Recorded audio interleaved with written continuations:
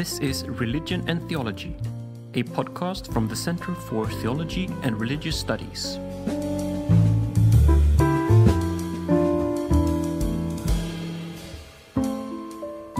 The next four episodes is in collaboration with HT Samtal and their producer Martin Degrell, and will bring us past lectures from honorary doctors from the joint faculties of Humanities and Theology. And first out is Dr. Paula Fredriksen, honorary doctor of 2017.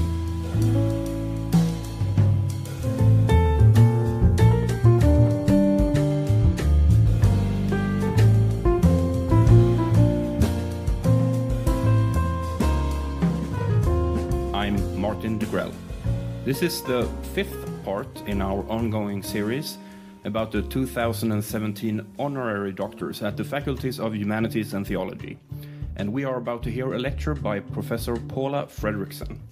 Paula Fredriksen is distinguished visiting professor at the Hebrew University in Jerusalem.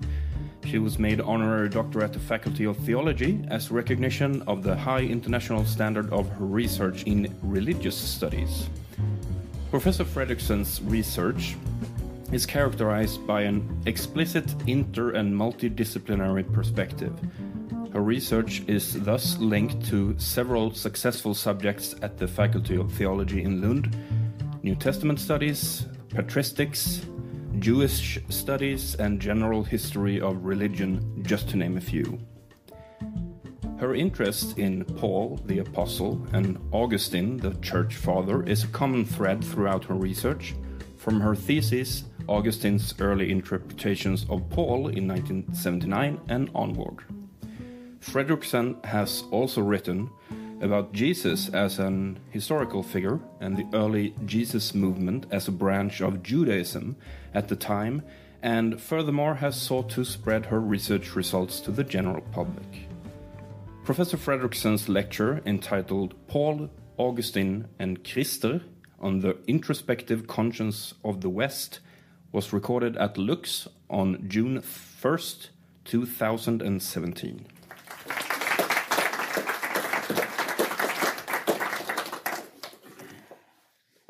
Thank you. Dear colleagues, thank you for coming. I thank the university and particularly my, my, new, my new colleagues in the new department that I am now newly a member of. Um, and I'm, I'm honored and thrilled to be here. I also, uh, as you might guess from my name, um, I'm part of the Scandinavian diaspora um, in North America. Uh, but since I am American, it means, of course, that I'll deliver the lecture in English.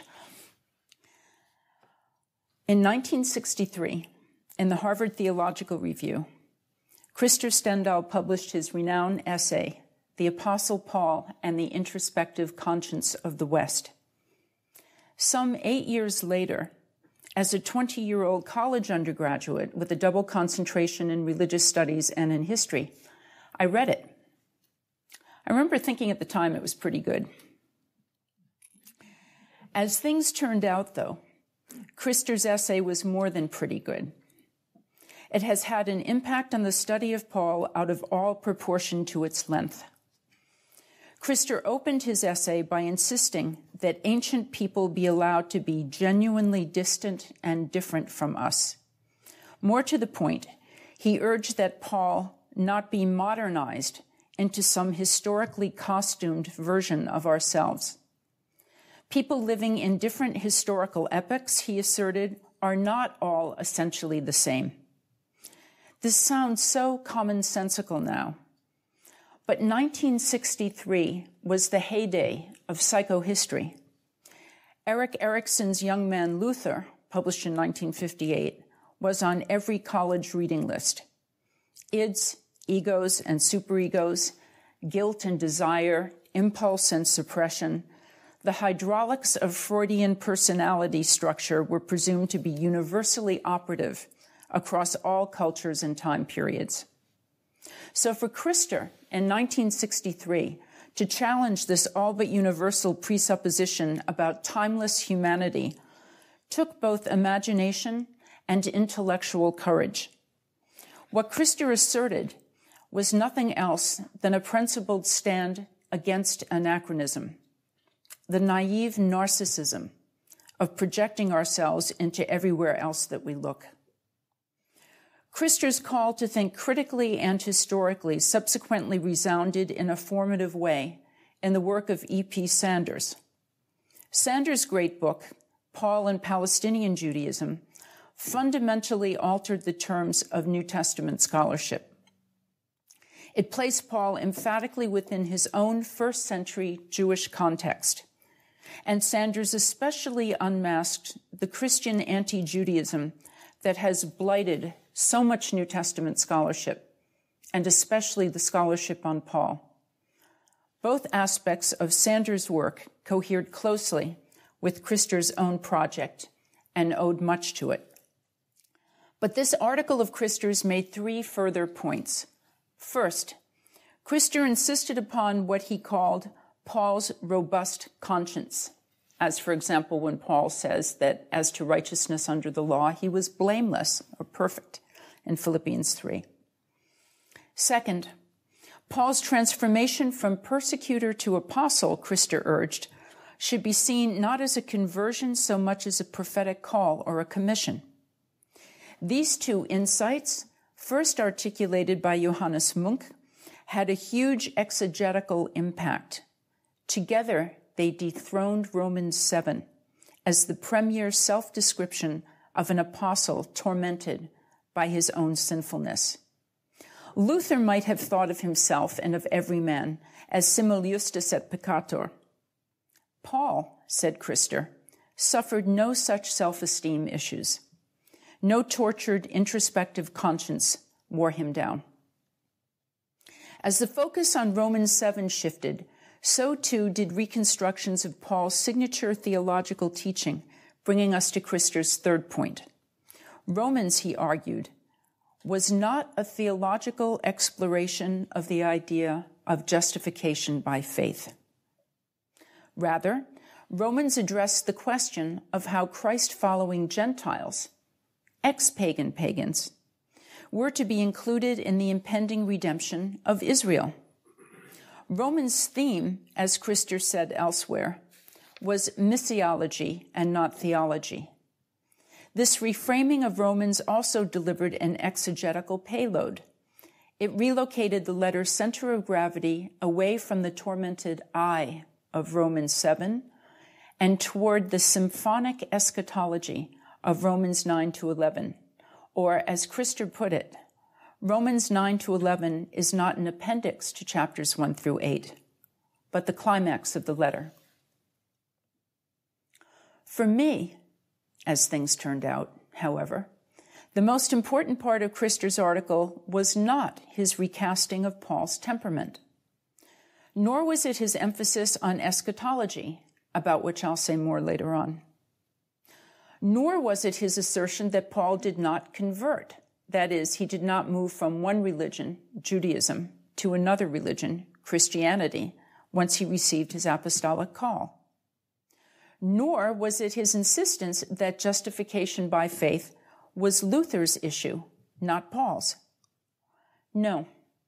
What mattered most for me was the intuition that flashed fleetingly between pages 204 and 205. How did Luther's Paul get to be Luther's Paul? asked Krister. And he answered, through the work of Augustine of Hippo. Augustine's Confessions, said Krister, put together the West's idea of the introspective self and served as its conduit. Quote, the Confessions are the first great document in the history of the introspective conscience, he asserted. And I'm still quoting him here. The Augustinian line leads into the Middle Ages and reaches its climax in the penitential struggle of the Augustinian monk, Martin Luther, and in his interpretation of Paul. Augustine's Paul shaped and, in a sense, caused Luther's Paul, the Paul of Romans 7. It was a brilliant association of ideas. But was it true? Augustine had been born in 354. He died in 430, in late Roman North Africa, the Bible Belt of Latin Christianity. Luther was born in 1483 and died in 1546. Over 1,000 years stood between Augustine and Luther. And Luther the monk lived in a resoundingly different culture, the penitential, post medieval, Renaissance culture of 16th century Northern Europe. Augustine's Paul must have been different from Luther's Paul. To start with, the two men were not even reading the same Pauline text. Luther read Paul in Greek. Augustine read Paul in a miserable Latin translation. If Augustine had read Greek, the West might have been spared the doctrine of original sin.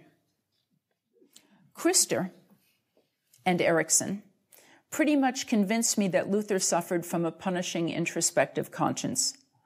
But with more than 10 centuries separating the late empire from Luther's Europe, could Augustine really have experienced the same?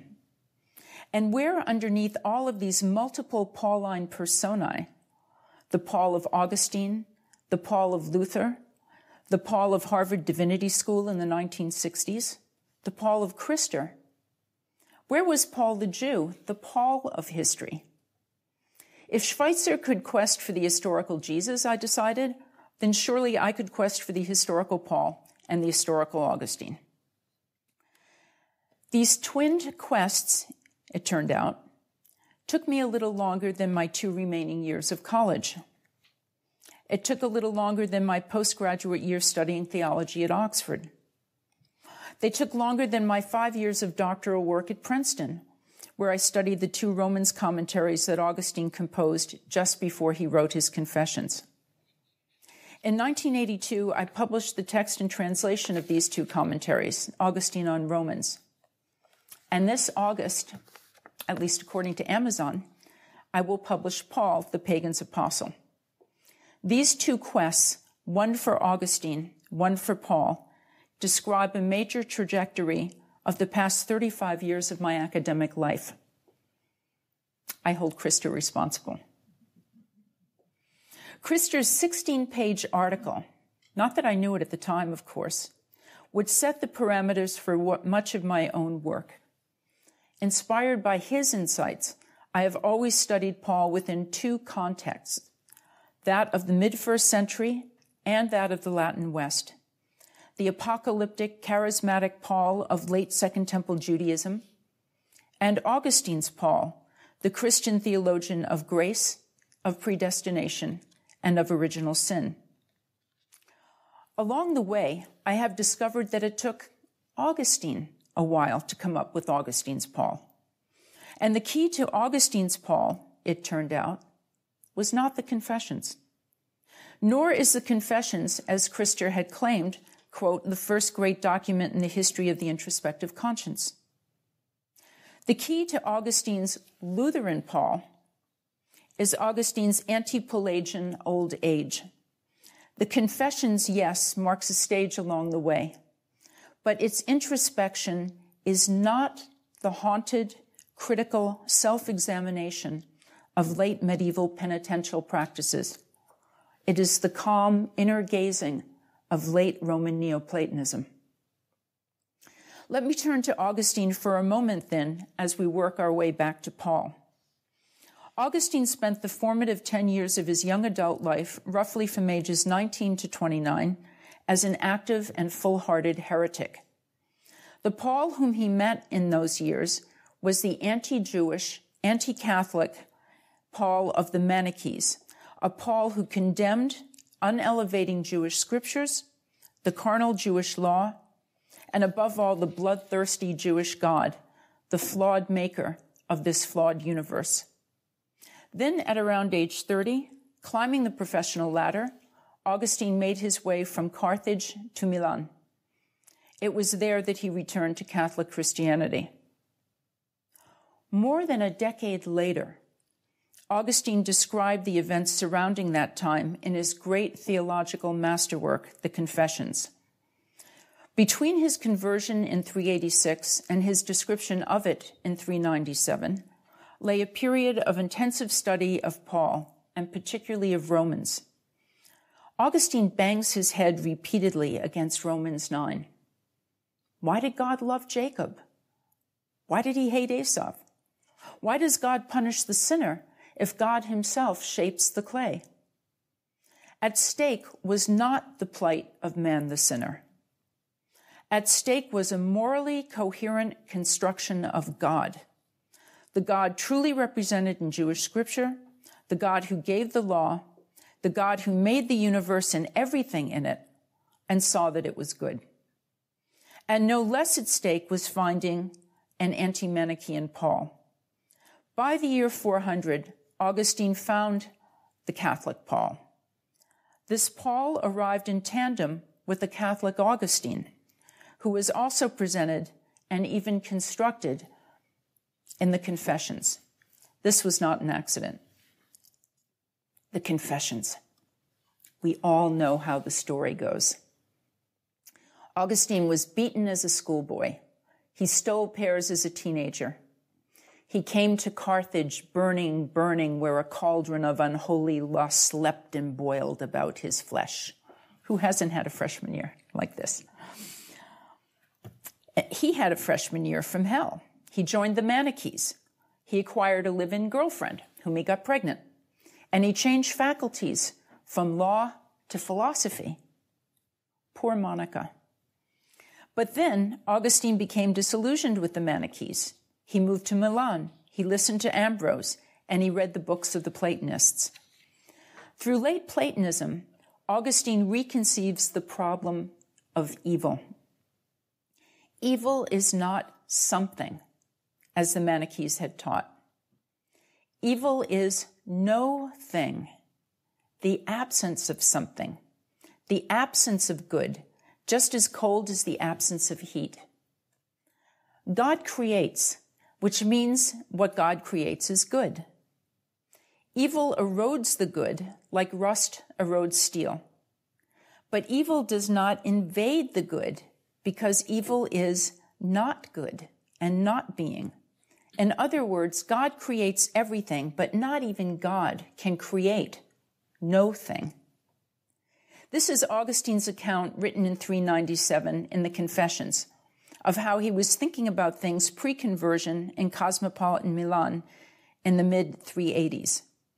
He offers not an introspective self so much as a retrospective self. So much for cosmic evil. But what about personal voluntary evil, also known as sin. In the works that immediately followed his conversion back in 386, writing to other learned gentlemen in his Platonic reading group, Augustine had characterized sin as a mistake made due to ignorance.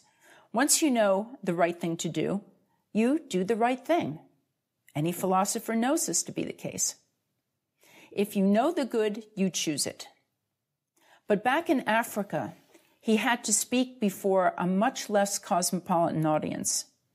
He publicly debated with the Manichees, who peppered him with quotations from Paul's letter that seemed to talk about unwilled sin, as at Romans 7. Augustine's fancy Neoplatonism wasn't working, whether to persuade his audience or to pummel his enemies. In the mid 390s, he started to study seriously the Catholic Paul. The Catholic Paul in the fourth century was better published than is the Paul of 21st century critical New Testament scholarship. Only seven letters in the canon are currently uncontested. Those are 1 Thessalonians, Philemon, 1st and 2nd Corinthians, Galatians, Philippians, and Romans. Augustine painted his portrait of Paul from a richer palette that included the Deuteropauline letters, 2nd Thessalonians, 1st and 2nd Timothy, Titus, Ephesians, Colossians. And unlike us, he could draw uncritically on the Acts of the Apostles. In the mid 390s, then, commenting on Romans and on Galatians, Augustine begins to construct a Paul who was, in the words of Titus chapter 3, verse 3, foolish, disobedient, led astray, slavishly serving various passions and pleasures. End of quote. This is a Paul who did not want to stop sinning, but God chose him anyway, against Saul's own will. Thus, Augustine in 396, immediately before starting the Confessions, commenting on Romans 9, observed, and I'm quoting him here in the Ad Simplicianum What did Saul do but attack, seize, blind, and slay Christians? What a fierce, savage, blind will was that! Yet he was thrown prostrate by one word from on high and a vision came to him whereby his mind and will were turned from their fierceness and set on the right way toward faith, so that suddenly, from a marvelous persecutor of the gospel, a more marvelous preacher was made. What then shall we say? Is there unrighteousness with God? God forbid. This is Paul as the archetypical convert. He serves as the template for Augustine's presentation of himself in the Confessions. Augustine, too, in Book 8, is, as Paul described himself in the Epistle to Titus, foolish, disobedient, led astray, slavishly serving various passions and pleasures. Augustine explores the terrible emotional and moral paralysis of wanting and not wanting the exact same thing at the exact same time.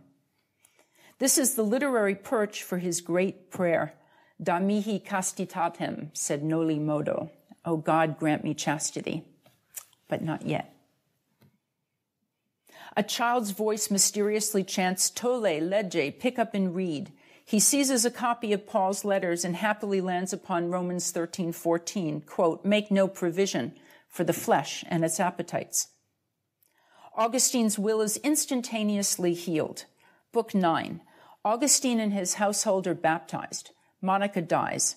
Having framed his story through a complex set of allusions to the divided self of Romans 7, Augustine heads back to North Africa, baptized and celibate, a changed man.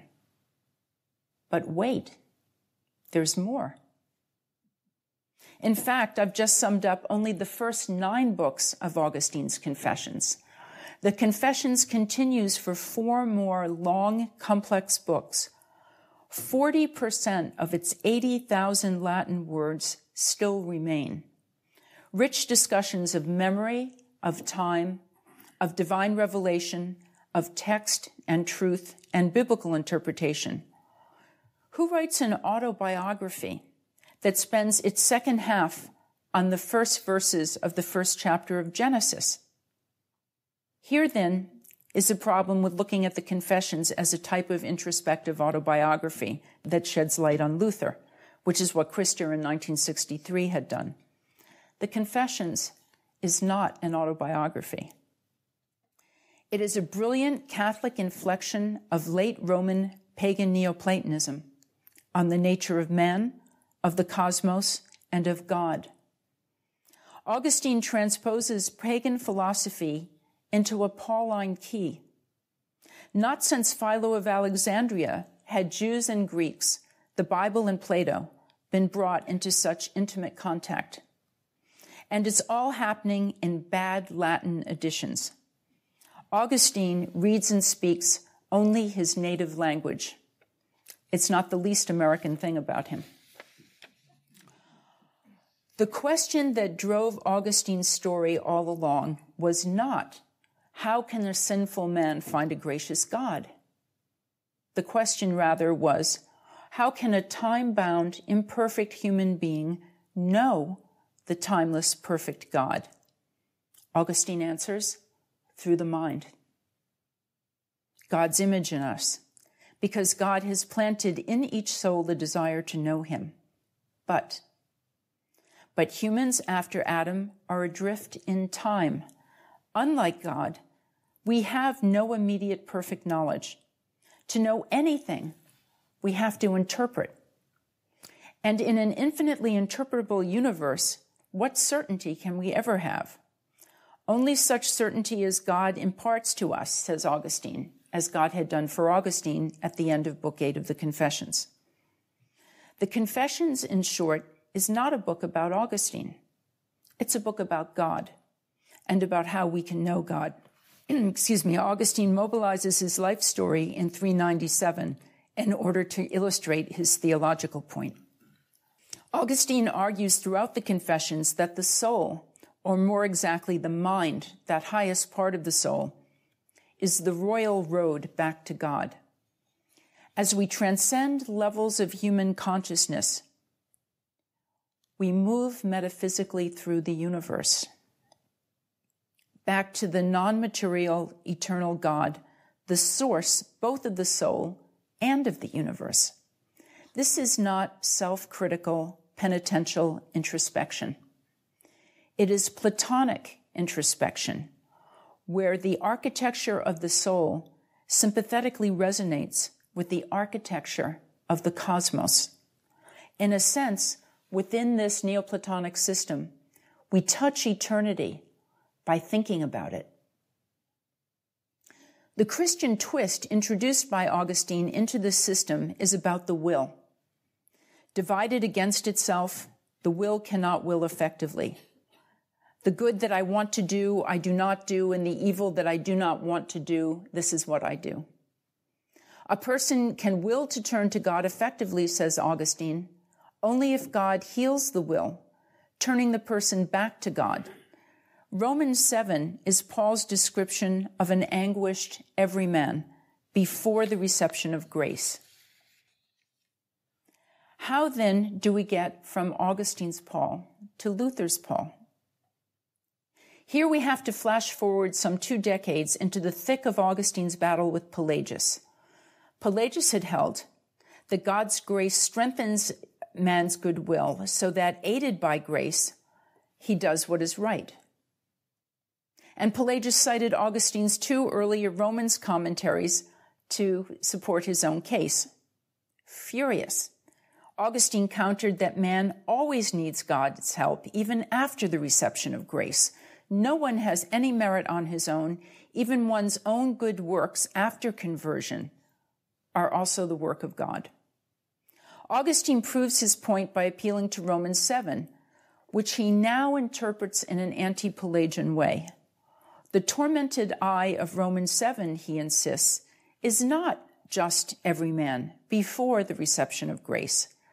The I of Romans 7, Augustine insists, is the Christian Paul, the Paul even after his conversion. The voice of Romans 7, says the anti-Pelagian Augustine, is the voice of Paul who, although Christian, still continues to be torn between flesh and spirit, between spirit and flesh.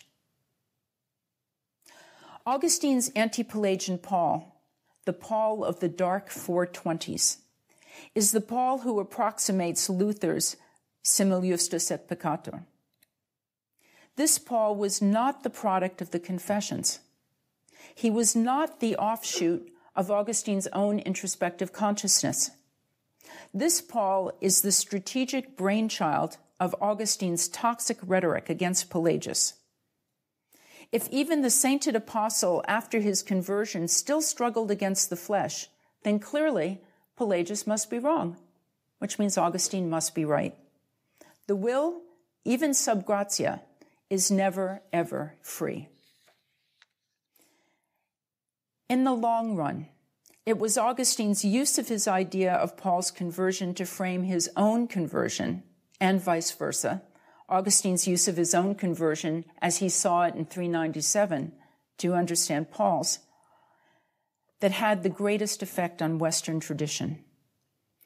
Paul stands in Western tradition as the prototype of the Christian convert the great sinner redeemed from the error of his earlier life by a single dramatic moment of conversion.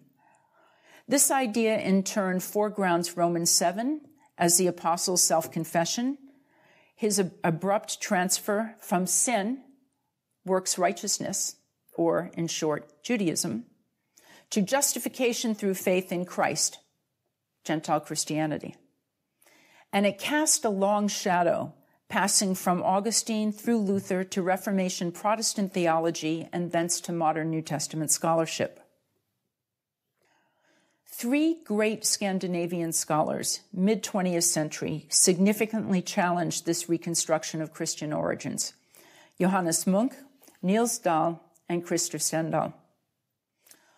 Munck leads the list with his 1954 publication, Paul and the Salvation of Mankind, in English.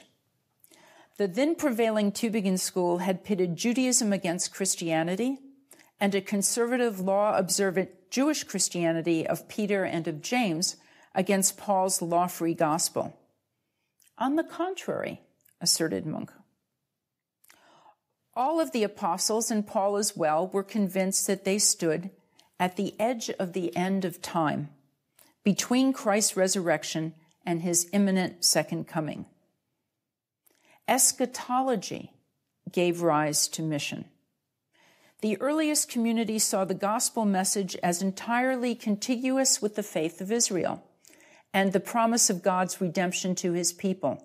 At the end, all Israel, that is, ethnic Israel, is saved.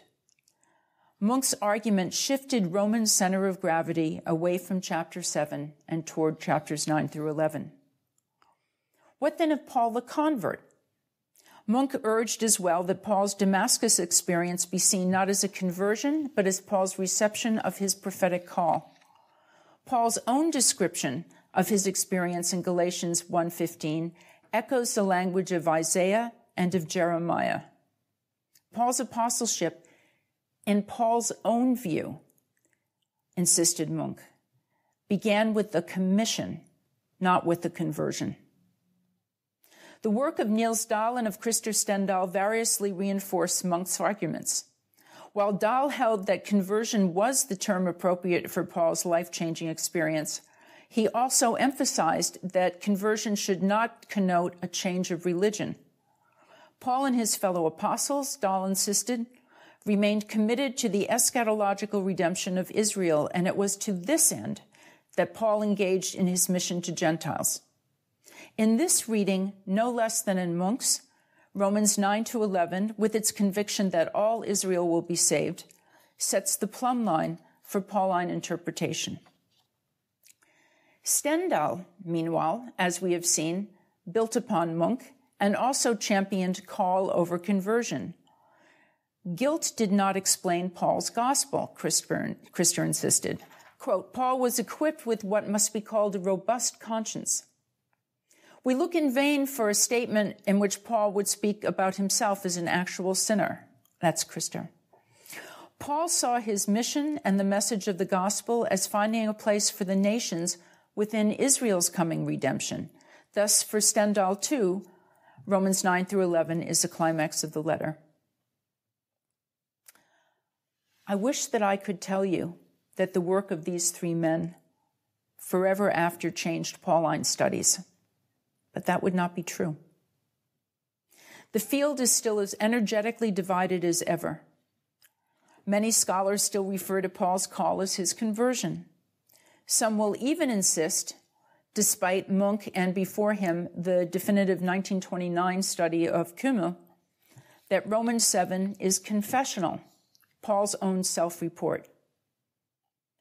Other scholars, noting that Paul's addressees are predominantly, if not exclusively, Gentile, suggest that Paul taught, quote, two paths of salvation, Torah for Jews and Christ for Gentiles.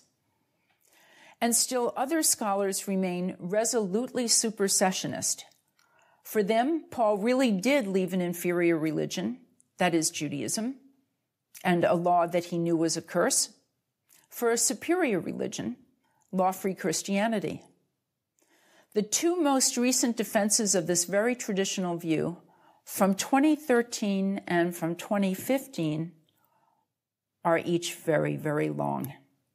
The one from 2013 is over 1,660 pages, and I had to review it, so I read 1,660 pages of this stuff. Maybe the length is a good thing because it signals that the position itself is getting harder and harder to defend. I number among those scholars who think that Paul and his gospel are best interpreted within Judaism. Paul did not know that his letters would one day be used to create what we call Christianity. Three reasons for thinking this way have already been provided by Munck, Dahl, and Stendahl. First, Paul thought of his becoming an apostle as a prophetic call rather than as a conversion. Second, Paul himself had a robust Jewish identity. And third, Paul expected the return of Christ, the resurrection of the dead, the transformation of the living, and the establishment of God's kingdom within his own lifetime. It is history that looks at the apostles as the church's founding generation. They looked at themselves as history's final generation. Fittingly, it is on this last point, eschatology, that I and Krister will end. So many things disturb undergraduates in courses introducing the New Testament. They read Matthew and Luke together for the first time and realize that those two gospels tell two very different birth narratives. They find out that none of the 12 disciples in Mark's gospel ever understood a word that Jesus was saying. They find out that there are four different stories about the resurrection. They find out that Paul teaches the resurrection of a spiritual body. They find out that Mark's Jesus cleanses the temple at the very end of his mission, but that John's Jesus does the very same thing at the very beginning of his. Some of these things bother some of them, other things bother others of them. But what bothers all of them is a teaching on which Jesus and Paul completely agreed, namely, that the kingdom of God was at hand. In first century texts, the kingdom of God is not a metaphor for heaven.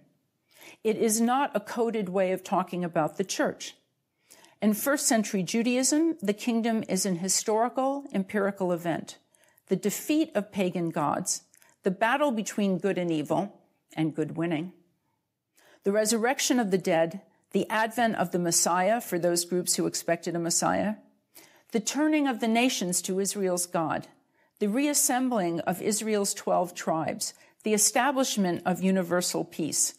The day after the kingdom of God arrived, in other words, would definitely look different from the day before. John the Baptizer, in the 20s of the first century, taught that these events were imminent. Jesus of Nazareth, in the late 20s and early 30s of the first century, taught that these events were imminent. And this is what Paul, in the middle decades of the first century, also taught was imminent. That's interesting. Because by the time that we have our earliest evidence for the Christ movement, that is to say, with Paul's letters, mid first century, the kingdom was already 20 years late. Today, in Lund, on the 1st of June in 2017, the kingdom is almost 2,000 years late. And that is exactly what Krister says. This too took moral and intellectual courage because the delay of the end is something of an embarrassment.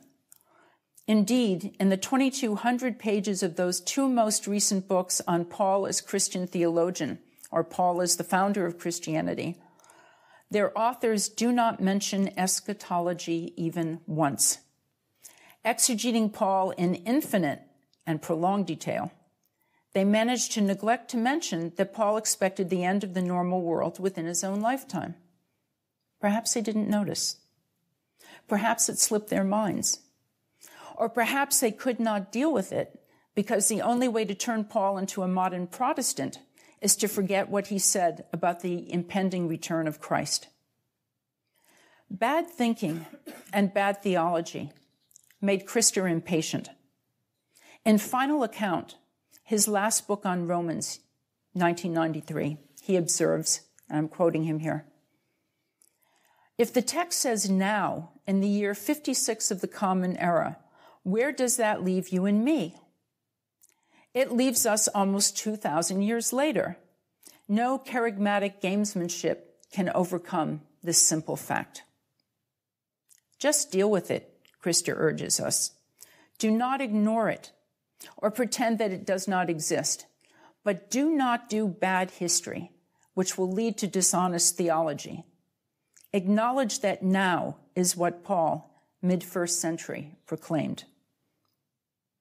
Jewish eschatology matters for Christian theology, not least because it and it alone accounts for the Christ movement's mission to pagans. It was only at the end, taught the prophet Isaiah, that the fullness of the pagans, all 70 nations descended from Noah, would turn to Israel's God. It was only at the end that the plenum of Israel, all 12 tribes, would recollect. It was only at the end that, quote, the fullness of the Gentiles and all Israel, as Paul says in Romans 11, would be redeemed. If we let go of Jewish eschatology, this embarrassing religious artifact from the Jewish past, we let go of the only thing that explains Christianity's future. Deal with it, said Krister. Think hard, but think. Why listen to him? Why not just ignore this embarrassment? Leave it out and write and read the most recent few thousand pages about the Protestant Paul. Again, Krister will have none of it. Such a retreat, he argued, betrays the Reformation. Here is Krister again on page 72 in Paul Among the Jews and Gentiles, and I quote him here. Our study has called us to recognize that when we are involved in reinterpretation, we should remember that we should, re- that we should interpret the original. We have lived with a sort of chain reaction. Augustine touching up Paul, Pelagius discussing and turning these things around, medievals pushing one way or another, and then further reactions moving away from the original. But the original is there. I have tried to point it out.